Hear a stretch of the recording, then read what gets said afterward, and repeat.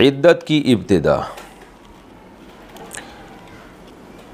दा ये लिखा दिलशाना, आसाम, इंडिया से। मेरे शौहर ने मुझे तलाक़ दी थी, मुझे मालूम नहीं था। आज मालूम हुआ तो आज से मेरी इद्दत शुरू होगी है जिस वक्त तलाक़ दी थी उसी वक्त से। लेकिन जिस वक्त से तलाक़ दी जाती है ना, इद्दत उसी वक्त से शुरू हो जाती है, चाहे औरत को पता हो या ना पता हो। इसी तरह मौत की इद्दत भी उस वक्त से शुरू हो जाती है, जब शोहर की डेथ हुई हो।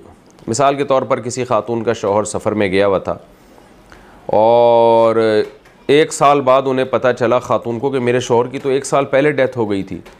तो डेथ के बाद चार महीने, दस दिन गुजर गए थे तो इद्दत ख़त्म हो गई, खुद ब खुद।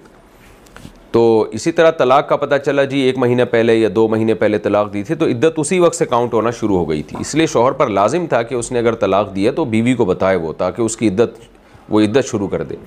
तो अब जो इद्दत नहीं की तो इसमें शोहर गुनाहगार होगा, औरत गुनाहगार नहीं होगी, क्योंकि उस बेचारी को पता ही नहीं था। लेकिन जितने दिन इद्दत के बाकी होंगे ना तो वो फ़ौर वो औरत पर लाजिम होगा कि उस इद्दत की पाबंदियों पर वो अमल करना शुरू कर दे।